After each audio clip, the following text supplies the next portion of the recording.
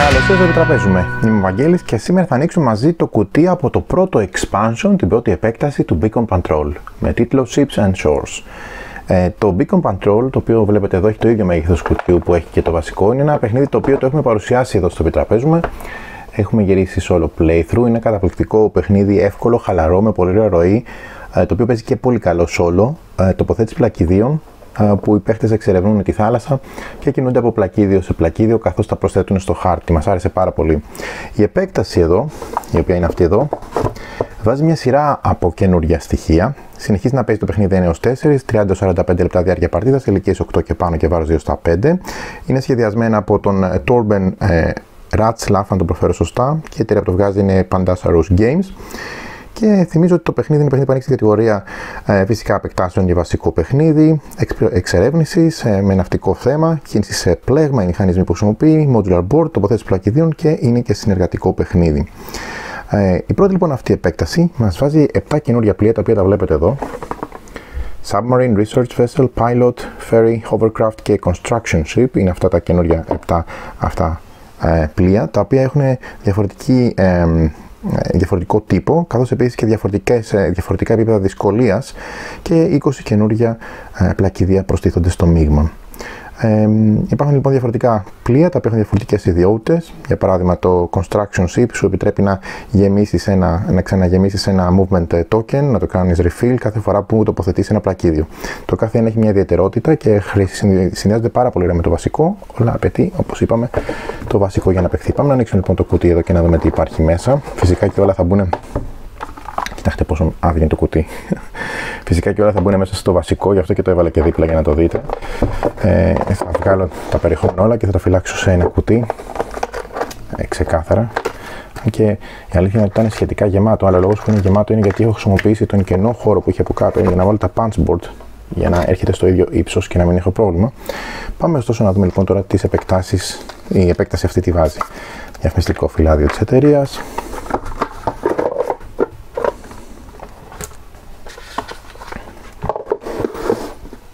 Και ξεκινάμε λοιπόν από τους κανόνες. Ε, οι κανόνες είναι πάρα πολύ εύκολοι. Ουσιαστικά τα περιεχόμενα είναι τα, ε, τα πλοία που μπαίνουν, που σας έδειξα πριν. Έχουμε 20 καινούργια πλακίδια εξερεύνησης που έχουν ένα ε, βέλος πάνω και ε, μπουστάρονται επίσης και χρησιμοποιούνται επίσης ωραία και με την επέκταση. Ένα movement point token και 7 κάρτες πλοίων που έχουν τις ιδιότητες.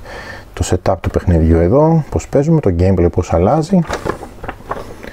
Και εδώ είναι οι τύποι πλοίων και υπάρχουν και τα στεράκια που είναι πολύ βοηθητικό που δείχνουν τα επίπεδα δυσκολίας. Λοιπόν, α, για να δούμε τα πλακίδια. Τα πλακίδια είναι από το ίδιο υλικό που είναι φτιαγμένο και το βασικό. Υπάρχει και ένα movement token παραπάνω. Okay. Το βάλουμε εδώ μαζί με τα υπόλοιπα. Και πάμε να βγάλουμε λίγο όλα τα tiles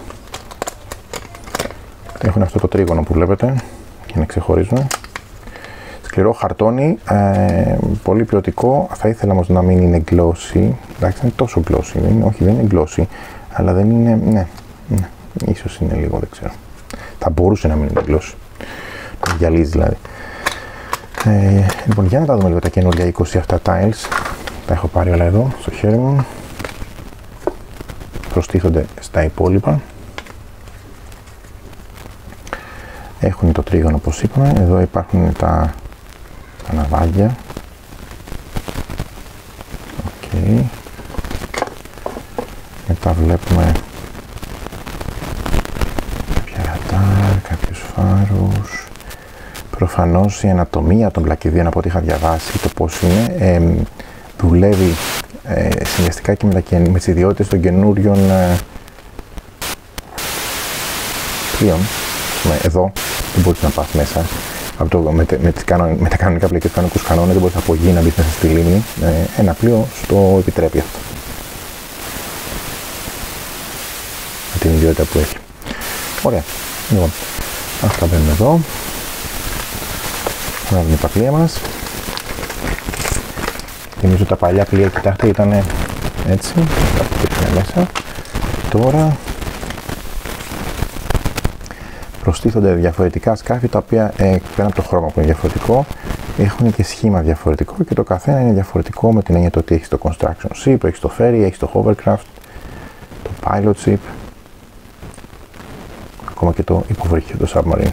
Ωραία, διαφορετικά και τυπωμένα και από τις δύο πλευρές. Θα τα βάλω εδώ να τα βλέπουμε όλα. Και άλλο διαφημιστικό φυλάδι από την εταιρεία. Δεν μας πολύ ενδιαφέρει. Πάμε γρήγορα να δούμε α, τι έχει εδώ μέσα. Λοιπόν, ε, εδώ λοιπόν βρίσκουμε μέσα τις 7 κάρτες πλέον.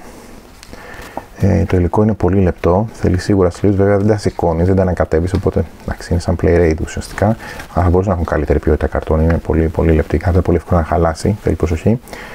Εδώ λοιπόν είναι το construction ship, σου δείχνει το setup, σου δείχνει ποια συγκεκριμένα πλακίδια βάζεις μέσα.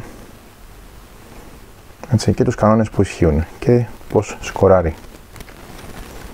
Το research vessel το ίδιο, μου αρέσει που είναι ξεκάθαρα σε κάθε πλοίο, οπότε αν μπουν κάποια πλοία από τους παίχτες μπαίνουν έξτρα πλακίδια μέσα. Έτσι, σου λέει πώς να τα αλλάξεις και τι ισχύει και επίσης τι, πώς σκοράρουν. Το Coast Guard Ship, το Hovercraft, το Pilot, το Ferry,